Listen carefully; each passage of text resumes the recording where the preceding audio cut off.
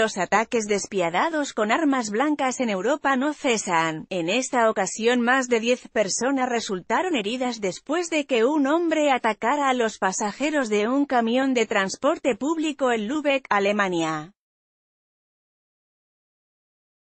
Todo comenzó cuando un hombre de origen iraní abordó el bus y sorpresivamente comenzó a agitar el cuchillo contra los pasajeros. No hubo muertos, muchos de los pasajeros y testigos dejaron la escena del crimen antes de que sus personalidades pudieran ser tomadas por la policía. Se ruega encarecidamente a estos pasajeros que se comuniquen con la policía, ataque terrorista.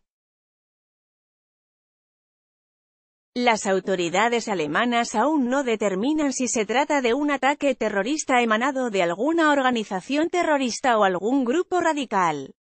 En cuanto al atacante, solo se sabe que es de nacionalidad iraní y que tiene 30 años.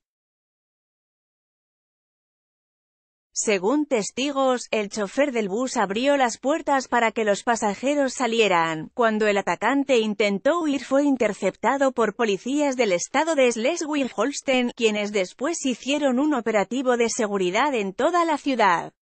Estamos analizando la situación, el atacante ya fue detenido, ofreceremos más información en las próximas horas, podría interesarte, apuñalan a turistas mexicanos en metro de Berlín Embajador de Estados Unidos de América en Alemania busca empoderar a la extrema derecha Fernando Castillo articulista internacional